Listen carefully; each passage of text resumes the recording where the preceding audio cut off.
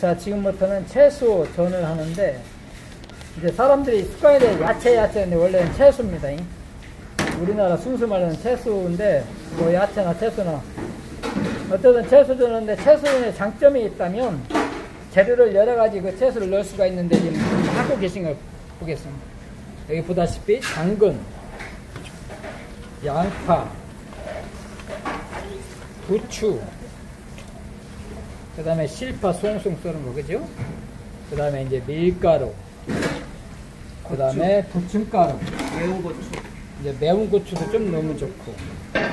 그래서 이 장점이 뭐냐면, 아까도 말씀드렸지만, 여러 가지 자기가 넣고 싶은 재료 넣어가지고 다양하게 만들어낼 수 있는 게 장점입니다. 소금 양념은 당연히 해야지고, 예. 이제 대량으로 하다 보니까 막 미리 썰어 놓고 막 다 해야지 이거 일 못합니다. 다시 한번 이제 재료를 보면 예, 이렇게 당연히 물을 이제 넣겠습니다. 밀가루 넣어야지. 예. 부침가루도 좀 넣고 어, 이제 물을 좀 넣어야 돼.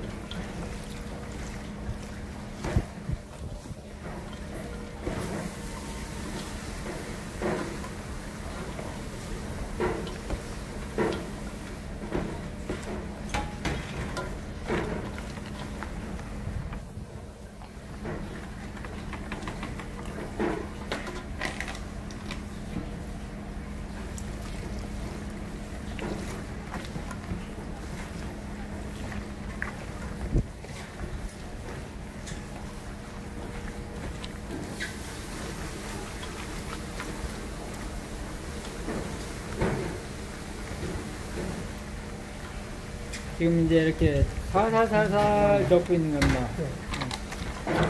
용도를 이제 맞춰가면서 밀가루 넣고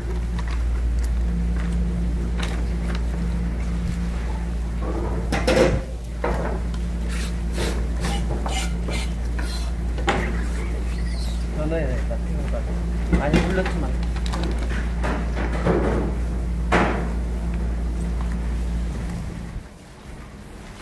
여기서 농도 맞추는 게 매- 대량으로 하다 보면 이제 농도 맞추는 게 매우 중요하죠. 어, 지금 레시피를 이제 제가 보여줄 테니 그 레시피대로 하시면 되고 요리사들은 사실 손이 레시피라 착착 집어넣으면 다 됩니다.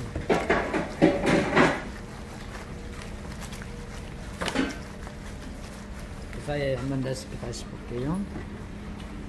이제 여기는 이제 감자를 넣어도 되고 감자를 없으면 안 넣어도 되고 예. 밀, 양파, 감자, 당근, 청피망 넣어도 되고 우리가 지금 업장에서 또 이제 재료 있는 걸로 하다 보면 부추, 실파, 양파, 당근, 홍고추 또는 매운 고추, 청양고추는 매콤하지. 그 다음에 반죽재료는 밀가루, 달걀, 소금, 물, 식용유 약간 넣어도 되고. 잉? 식용유는 이제 부칠 때 어차피 하니까 뭐.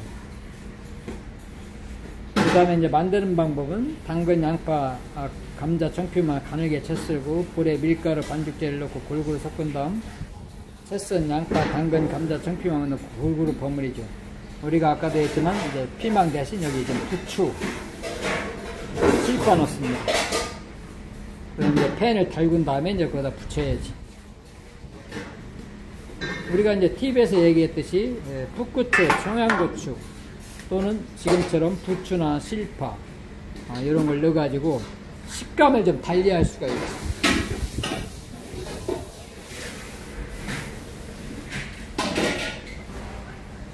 달걀은 이제 넣어도 되고 안 넣어도 되고 그렇지. 집에서 소량을 넣을 때는 이제 달걀을 좀 넣어가지고 좀 뭐랄까 어, 그런 달걀 맛을 좀 낼 수도 있겠지.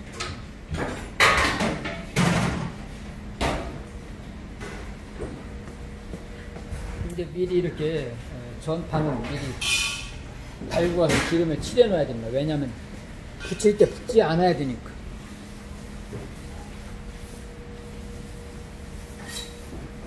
기름이 너무 흥건하면 안 되고 이제 완전히 달군데 기름을 좀 닦아내야지. 첫 번째 뿌렸던 기름은 딱 닦아내고 다시 기름을 뿌리는 게 몸에 좋습니다.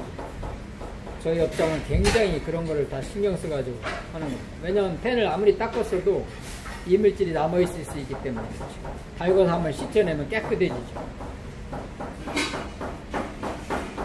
그래서 음식은 누가 어떻게 냈따라서 맛과 건강이 완전히 틀립니다. 저는 특히 불 조절이 굉장히 중요하죠. 이제 다시 기름을 치우겠습니다. 수벌로 다 싹 다 달궈서 버린 다음에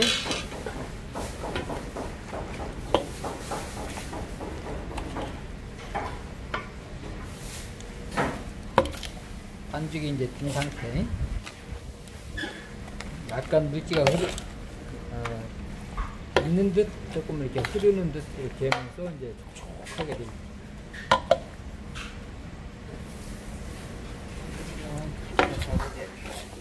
다시 한번 이제 그 사이에 레시피를 볼게요.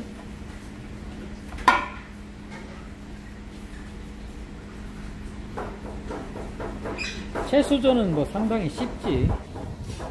이제 하는 게 집에서 좀 어, 시간이 좀 걸리는데 사실 요리치고는 이 정도면 간단한 거지 뭐.